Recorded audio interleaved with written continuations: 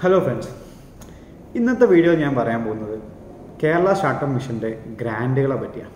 Grand എന്ന് പറയുമ്പോൾ basically നിങ്ങൾക്ക് നിങ്ങളുടെ ബിസിനസ് മുന്നോട്ട് കൊണ്ടുപോകാനുള്ള ഫിനാൻഷ്യൽ സപ്പോർട്ട് അപ്പോൾ അത് കുറേ കാലമായിട്ട് അത്യാവശ്യം നല്ല എമൗണ്ട് തന്നെ അവർ ഗ്രാൻഡുകൾ കൊടുക്കുന്നുണ്ട്. അപ്പോൾ അതെങ്ങനെയാണ് നിങ്ങൾക്ക് കിട്ടുക? അതാ നിങ്ങൾ അതിന് എലിജിബിൾ ആണോ? അതിന് എലിജിബിൾ അല്ലെങ്കിൽ നിങ്ങൾക്ക് എങ്ങനെ അങ്ങനെ ആവാം എന്നാണ് ഇന്നത്തെ വീഡിയോയിൽ പറയാൻ പോകുന്നത്. അപ്പോൾ നമുക്ക് ഞാനെല്ലാം നോട്ട് ചെയ്ത് വെച്ചിട്ടുണ്ട്. കാരണം നമുക്ക് ഇനി വെറുതെ കാര്യങ്ങളൊന്നും സംസാരിക്കേണ്ട. സ്ട്രെയിറ്റ് ടു ദ പോയിന്റ് വരാം. പിന്നെ ഞാൻ പറഞ്ഞല്ലോ കെ എസ് എമ്മിന്റെ ഒരു സീരീസ് ഉണ്ടാക്കുന്നുണ്ടെന്ന്. അതിൽ രണ്ടാമത്തെ വീഡിയോ ആണിത്. അപ്പോൾ നിങ്ങൾ ഈ ചാനൽ ആദ്യമായിട്ടാണ് വരുന്നതെങ്കിൽ നിങ്ങൾ സബ്സ്ക്രൈബ് ചെയ്യുക. ബാക്കിയുള്ള വീഡിയോസൊക്കെ ഒന്ന് പോയി നോക്കുക. ഞാൻ ഇനിയും ഈ ടോപ്പിക് റിലേറ്റഡ് ആയിട്ടുള്ള വീഡിയോസ് ഇടും. പിന്നെ കുറച്ച് മറ്റ് ലൈഫ് സ്റ്റൈൽ വീഡിയോസും കാര്യങ്ങളൊക്കെ ഇടും. അപ്പോൾ നിങ്ങൾ സബ്സ്ക്രൈബ് ചെയ്യുക. അങ്ങനെയാണ് നിങ്ങൾക്ക് എന്നെ സപ്പോർട്ട് ചെയ്യാൻ പറ്റുന്നത്. അപ്പോൾ ടോപ്പിക്കിലോട്ട് വരാം. ഇതിൽ ബേസിക്കലി ഇപ്പോൾ ലാസ്റ്റ് വീഡിയോ ഇട്ടതിന് ശേഷം ഒരുപാട് ഒരുപാട് പേര് എന്നെ ഇൻസ്റ്റാഗ്രാമിൽ കോൺടാക്ട് ചെയ്തു. കുറേ ആൾക്കാർ എന്റെ ഫോൺ നമ്പർ ഇതിന്റെ അടിയിൽ ചോദിക്കുന്നുണ്ട്. അപ്പോൾ എനിക്ക് പബ്ലിക്കായി ഒരിക്കലും എന്റെ ഫോൺ നമ്പർ കമന്റിൽ ഇടാൻ പറ്റില്ല. അപ്പോൾ ഞാൻ എല്ലാ വീഡിയോയിലും പറയുന്നുണ്ട് എന്റെ ഇൻസ്റ്റാഗ്രാം ലിങ്ക് ഞാൻ ഇതിന്റെ അടിയിൽ ഇടുന്നുണ്ട്. എല്ലാ വീഡിയോ ഡിസ്ക്രിപ്ഷനിലുണ്ട് നിങ്ങൾക്ക് അതിൽ എന്നെ കോൺടാക്ട് ചെയ്യാം. അപ്പോൾ അതിൽ ഞാൻ വേണമെങ്കിൽ നിങ്ങൾക്ക് എന്റെ ഫോൺ നമ്പർ തരാം. നമുക്ക് സംസാരിക്കുകയൊക്കെ ചെയ്യാം. പബ്ലിക്കായിട്ട് ഇട്ട് കഴിഞ്ഞാൽ നമുക്ക് ഒരുപാട് ബുദ്ധിമുട്ടുകളുണ്ട്. അപ്പോൾ അതിൽ പലരും ചോദിച്ച പല കാര്യങ്ങളും വെച്ചിട്ടാണ് ഈ വീഡിയോ ഉണ്ടാക്കുന്നത്. ഓക്കെ അതിൽ ഒരു റിക്വയർമെന്റ് അപ്പം നമുക്ക് സ്റ്റാർട്ടപ്പ് മിഷനിൽ നിങ്ങൾ എങ്ങനെ അപ്രോച്ച് ചെയ്യും എന്നുള്ളത് ആണ് പലരും ചോദിച്ചത്. നമ്മൾ എങ്ങനെ അപ്ലൈ ചെയ്യും?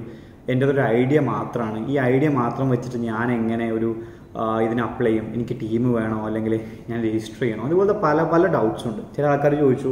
ഒരാൾ എന്നെ വിളിച്ചു. ആലപ്പുഴയിൽ നിന്ന് ഒരാൾ വിളിച്ചു ചോദിച്ചു. അവർക്ക് ഒരു ഐഡിയ ഉണ്ട് ഒരു ജനറേറ്ററിന്റെ ഐഡിയ അതായത് ഒരു ഇലക്ട്രിസിറ്റി ജനറേറ്റർ അതൊരു എഫിഷ്യൻസി കൂടുതലാണ് നോർമൽ ഇതിനേക്കാൾ എഫിഷ്യൻസി കൂടുതലാണ്. പുള്ളിക്ക് അത് പേറ്റന്റ് ചെയ്യണം വേറെ ആൾക്കാരുടെ ഡിസ്ക്ലോസ് ചെയ്യുന്നതിന് മുമ്പ്. അപ്പോൾ അതിന്റെ പ്രൊസീജിയേഴ്സ് എന്തൊക്കെയാണെന്നൊക്കെ ചോദിച്ചു.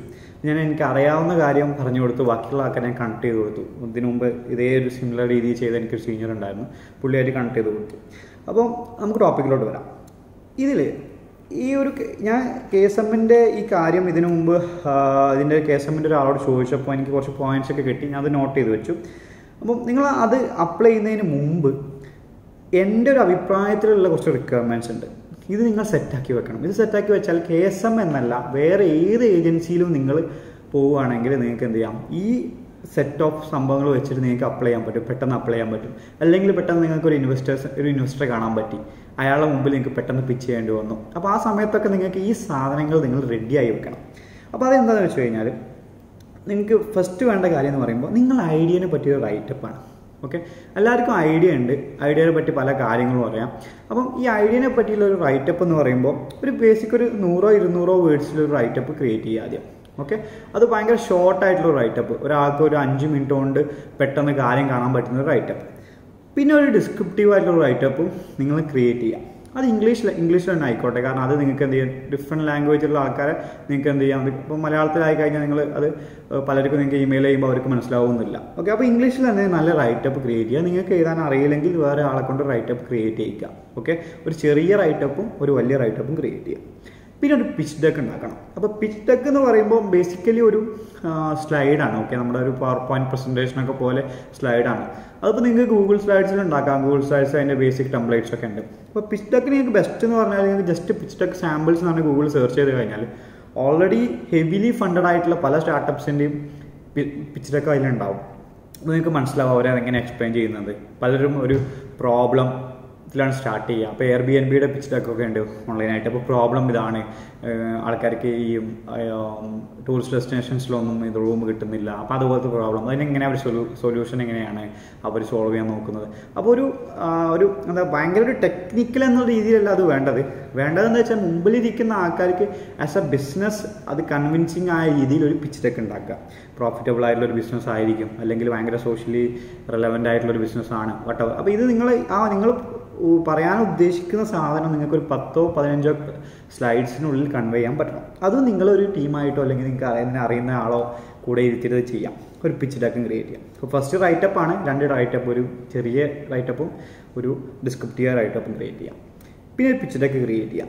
പിന്നെ ഞാൻ ഇപ്പോഴും പറയുമ്പോൾ ഞാൻ ഈ വീഡിയോ എടുക്കുന്നത് ഒരു ഫോണിലാണ് അപ്പോൾ ഇതിനെനിക്ക് അധികം പ്രിപ്പറേഷൻ ഒന്നുമില്ല. ജസ്റ്റ് വീഡിയോ ഓൺ ആക്കുന്നു. ഞാൻ മുമ്പിൽ വരുന്നു. ഞാൻ എങ്ങനെയാണോ അവിടെ എന്റെ ഓഫീസിൽ വരുന്നത് അതേ ഇതിൽ ഞാൻ നിങ്ങൾക്ക് സംസാരിക്കുന്നു. ഒരു പ്രിപ്പറേഷനുമില്ല അപ്പോൾ അതേപോലെ ഒരു വീഡിയോ നിങ്ങൾക്ക് ക്രിയേറ്റ് ചെയ്യാം. കുറച്ചൊന്ന് ക്വാളിറ്റിയിൽ നല്ലൊരു ഫോണായാൽ മതി. കുറച്ച് ക്വാളിറ്റിയിൽ ഒരു വീഡിയോയിൽ നിങ്ങൾ നിങ്ങളുടെ മദർ ടങ്ങിൽ തന്നെ ആയാലും കുഴപ്പമില്ല. മലയാളത്തിലായാലും ഇനിയിപ്പോൾ ഇംഗ്ലീഷിൽ പോസിബിൾ ആണെങ്കിൽ ഇംഗ്ലീഷിലായാലും എന്താണ് നിങ്ങൾ നിങ്ങളുടെ ഐഡിയനെ പറ്റി ഉദ്ദേശിക്കുന്നത് എന്നുള്ളൊരു വീഡിയോ ക്രിയേറ്റ് ചെയ്യാം. ഓക്കെ അപ്പം ഇത് നിങ്ങൾക്ക് ഓപ്ഷണലാണ് വേണമെങ്കിൽ മതി. ഓക്കെ ഇനി നിങ്ങളൊരു രജിസ്റ്റേർഡ് കമ്പനിയൊക്കെ ആണെന്ന് വിചാരിക്കുക. നിങ്ങൾ ചില ആൾക്കാർ ഐഡിയ ഓൾറെഡി രജിസ്റ്റേർഡ് ആയിട്ടുണ്ടാവും പല രീതിയിലൊക്കെ രജിസ്റ്റർ ചെയ്ത്. രജിസ്റ്റർ ചെയ്തിട്ടുണ്ടെങ്കിൽ ഒരു വെബ്സൈറ്റും അതിനൊരു ഇമെയിൽ ഐ ഡി ഉണ്ടായാൽ നല്ലതാണ്. ഒരു ബ്രാൻഡ് വാല്യൂ ഫീൽ ചെയ്യും ഓക്കെ നിങ്ങൾക്ക് ഒരു വെബ്സൈറ്റ് വേണം. ഒരു A B C dot in ഒരു ബിസിനസ് ഇമെയിൽ നിങ്ങൾക്ക് അറിയാമല്ലോ info at the rate A B C dot in എന്നുള്ള ഒരു അത് ഉണ്ടെങ്കിൽ നല്ല ഇപ്പോൾ എനിക്ക് എന്റെ ബിസിനസ് ഇമെയിൽ ഉണ്ട്. അപ്പോൾ എന്റെ കമ്പനിയുടെ വെബ്സൈറ്റ് ഉണ്ട്. അപ്പോൾ എനിക്ക് പേഴ്സണൽ വെബ്സൈറ്റും കാര്യങ്ങളൊക്കെ ഉണ്ട്. അപ്പോൾ ഇതൊക്കെ നിങ്ങൾക്കൊരു ബ്രാൻഡ് വാല്യൂ ക്രിയേറ്റ് ചെയ്യും. വേണമെങ്കിൽ മതി. അത് ഓപ്ഷനിൽ മാത്രമാണ് കേട്ടോ ഓക്കെ പിന്നീട് അടുത്ത വേണ്ട കാര്യം എന്ന് പറയുമ്പോൾ നമ്മുടെ രണ്ട് രജിസ്ട്രേഷൻ നിങ്ങൾ എടുക്കേണ്ടതുണ്ട് ഫ്രീ ആയിട്ടുള്ള രണ്ട് ഐഡി ഐ ഡി രജിസ്ട്രേഷൻസ് അതായത് ഒന്ന് D P I I T രജിസ്ട്രേഷനും ഒന്ന് K S M U I D ആണ്. ഇത് രണ്ടിന്റെ ലിങ്ക് ഞാൻ ഈ വീഡിയോ ഡിസ്ക്രിപ്ഷനിൽ ഇട്ടാം ഓക്കെ അപ്പോൾ അതിൽ ബേസിക്കലി ജസ്റ്റ് പോയി ഫോം ഫില്ല് ചെയ്തിട്ട് തന്നെ അപ്ലൈ ചെയ്യണം. Actually D P I I T എന്ന് പറഞ്ഞാൽ നമ്മുടെ department for promotion of industry and internal trading എന്നാണ്. അപ്പോൾ കേന്ദ്ര ഗവൺമെന്റിന്റെ ഒരു സ്റ്റാർട്ടപ്സിനുള്ള ഒരു യുണീക്ക് ഐ ഡി കൊടുക്കുന്ന ഒരു പ്രോഗ്രാമാണ് നമ്മുടെ ആധാർ കാർഡൊക്കെ പോലെ ഒരു യുണീക്ക് ഐ ഡി നിങ്ങളതിൽ പോയി രജിസ്റ്റർ ചെയ്യുന്നു.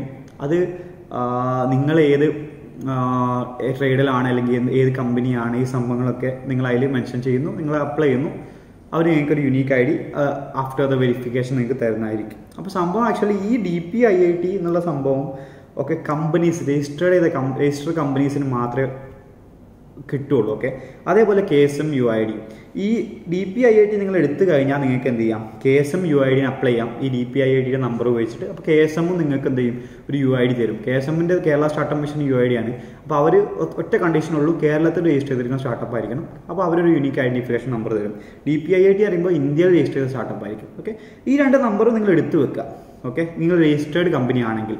രജിസ്റ്റേർഡ് കമ്പനി അല്ലെങ്കിൽ നിങ്ങൾക്ക് എന്ത് ചെയ്യാം? റൈറ്റപ്പ് പിച്ച് ഡെക്കും ആ വീഡിയോയും മാത്രം മതി. ബാക്കിയുള്ളവർക്കും ഈ വെബ്സൈറ്റ് വെബ്സൈറ്റ് നമുക്ക് വേണമെങ്കിൽ ഉണ്ടാക്കാമല്ലോ. വെബ്സൈറ്റൊക്കെ ഭയങ്കര സിമ്പിളാണ് ഇപ്പോൾ ഭയങ്കര ഓൺലൈൻ ടൂൾസ് ഒക്കെ ഉണ്ട്. നിങ്ങൾ ഐഡിയ വെച്ചിട്ട് വെബ്സൈറ്റ് ഉണ്ടാക്കാം. കാരണം ഇതൊക്കെ നിങ്ങൾക്ക് ഒരാളെ മുമ്പിൽ പ്രസന്റ് ചെയ്യാൻ വേണ്ട കാര്യങ്ങളാണ്. ഓക്കെ ഈ ഡി പി ഐ ഐ ടിയും കെ എസ് എം യു ഐഡിയും മെൻഡേറ്ററി ആണ് ഈ അപ്ലൈ ചെയ്യുമ്പോൾ ഓക്കെ ബാക്കിയെല്ലാം നിങ്ങൾ ഒരാളെടുത്ത് നിങ്ങൾക്ക് ഒരു കെ എസ് എമ്മിന്റെ ഫണ്ടിങ് മാത്രമല്ല ബാക്കി പല ഫണ്ടിങ് ഓപ്പർച്യൂണിറ്റീസ് ബാക്കി പല മെന്റർഷിപ്പ് ഓപ്പർച്യൂണിറ്റീസ് ഉണ്ടാവും.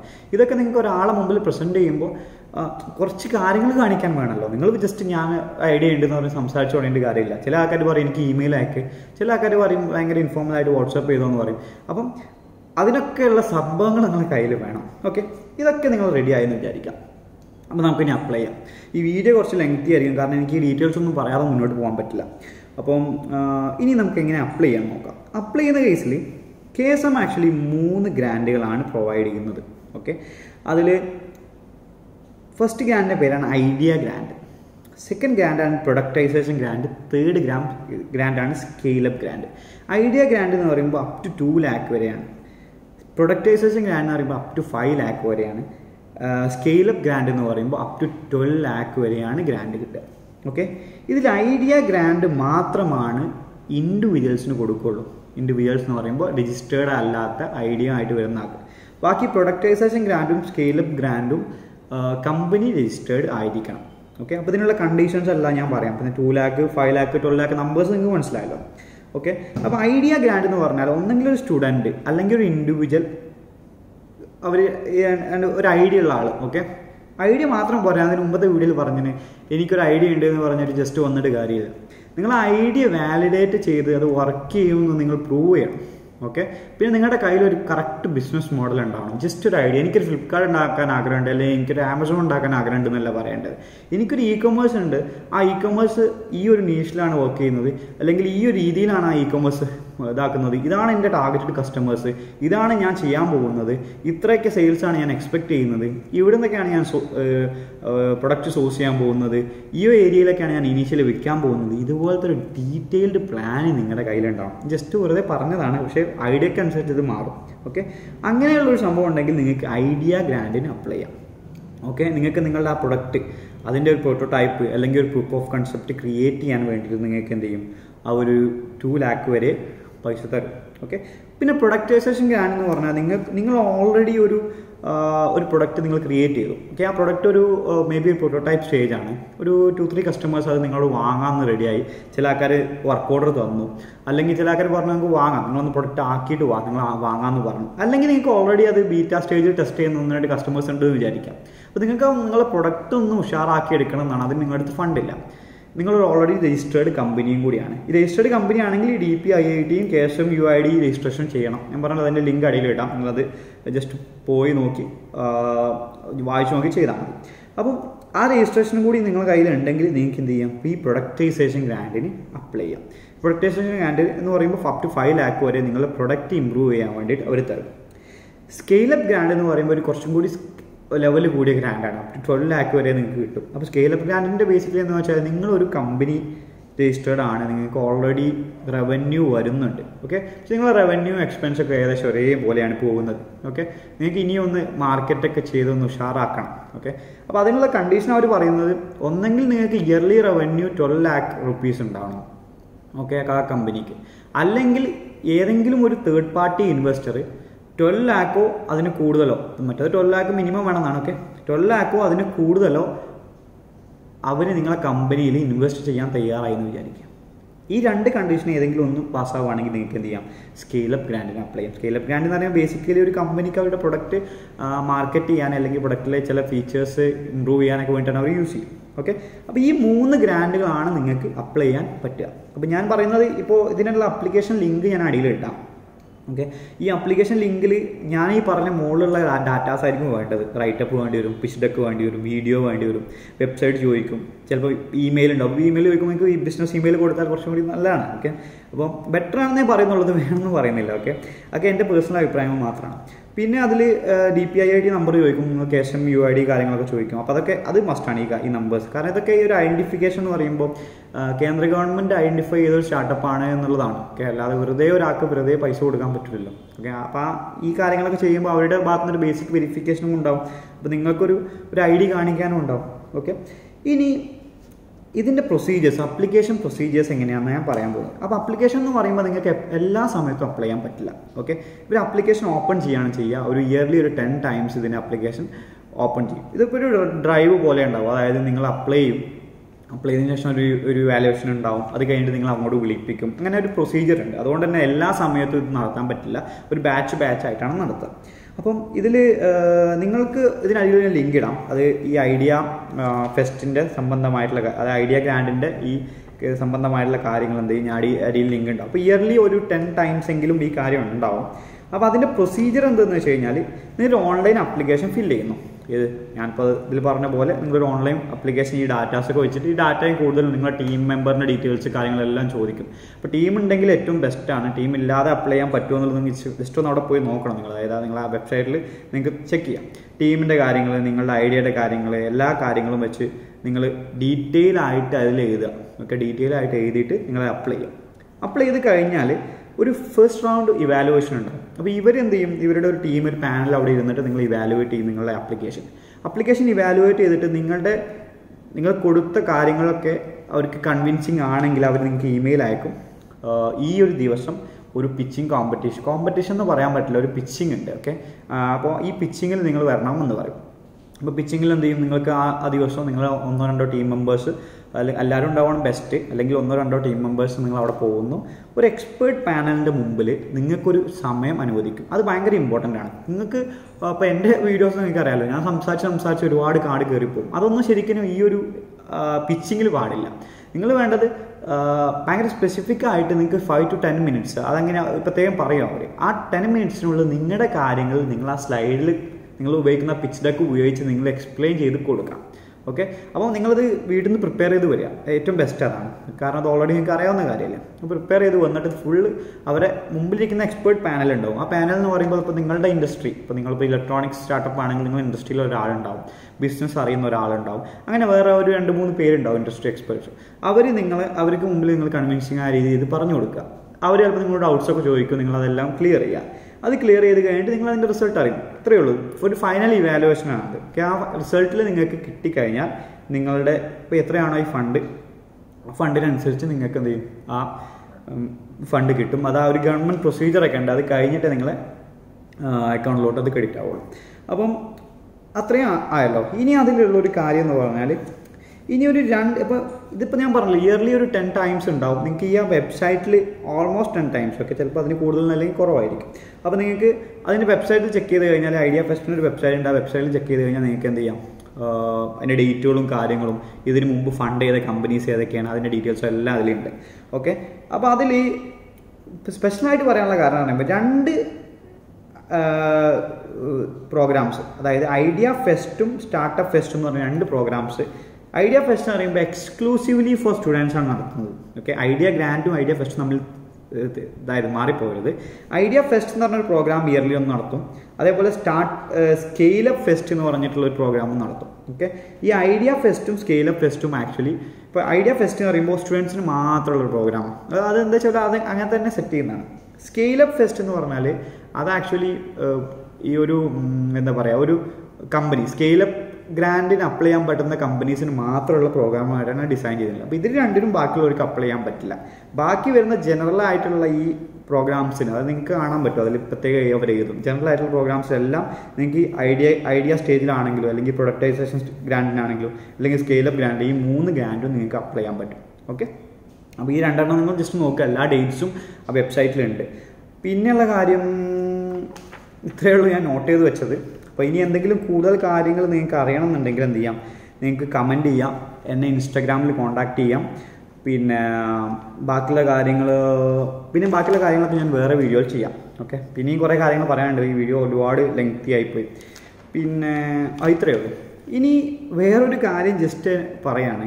ഈ ഒരിക്കലും ഇതിന്ന് കിട്ടുന്ന ഫണ്ട് എന്നുള്ളത് ആൾക്കാർ രണ്ട് ലക്ഷം അല്ലെങ്കിൽ അഞ്ച് ലക്ഷം പന്ത്രണ്ട് ലക്ഷം എന്നൊക്കെ പറയുമ്പോൾ ആൾക്കാർ വിചാരിക്കും ഈ ഫണ്ട് എന്നുള്ളത് ആക്ച്വലി നിങ്ങളുടെ പേഴ്സണൽ ആവശ്യത്തിനോ അല്ലെങ്കിൽ നിങ്ങളുടെ കമ്പനിയുടെ റവന്യൂ ആയിട്ടൊന്നും നിങ്ങൾ കാണരുത്. ഓക്കെ?